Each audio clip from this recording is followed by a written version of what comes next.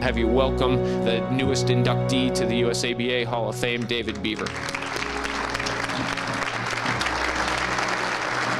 About 36 years ago, in the winter, I was a associate professor at Morehead State University in Kentucky.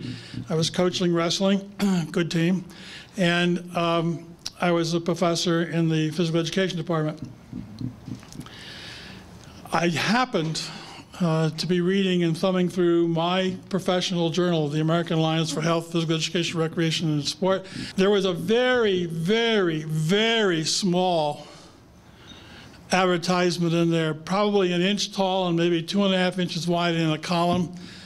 And all it said was that athletes that were blind were going to be competing at the Toronto Olympiad, or yeah, Toronto Olympiad that summer, and that the organizers were looking for coaches. Well, I had at that time two young men on my wrestling team that were both very low vision. I mean, one was so low that to read this big, he would have to have newsprint on his nose practically to be able to read it. I applied. Didn't know who I was applying to because there was only a post office box. It turned out to be Dr. Charles Buell. Judy White coached the swimming team in, in Toronto from the Indiana School for the Blind. Lou Moneymaker had the track team. I had the wrestlers along with a gentleman from Arkansas by the name of uh, Leonard Ogbert. In fact, somewhere out here, I saw him come in earlier. I see Dr. Jim Mastro. Where are you? and Jim was on that team. And we successfully defeated the Canadian national wrestling team of blind athletes and the York University sighted wrestling team. And we were trying to prove that that was a sport that should be part of the program of competition.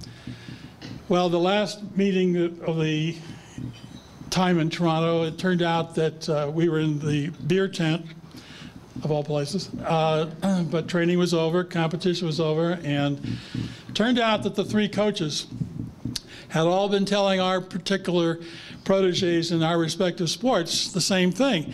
If you're really serious about wanting to be an athlete and be ready the next time we come around, four years from now, I'll help you. They'll help you.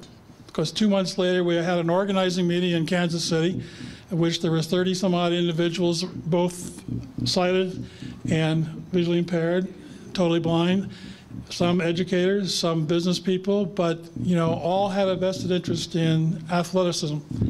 And out of that meeting, we formed the United States Association of Blind Athletes. It's a pleasure to be here. I feel very, very honored to receive this award. Since I retired in the decade of 2000, I've been getting awards like this or distinguished alumnus from Greeley and Northern Colorado and Springfield College. So I said, I think they're telling me my time has had it. Watch out, I'm all paid up in my insurance, but it's time for me to go. Thank you very much.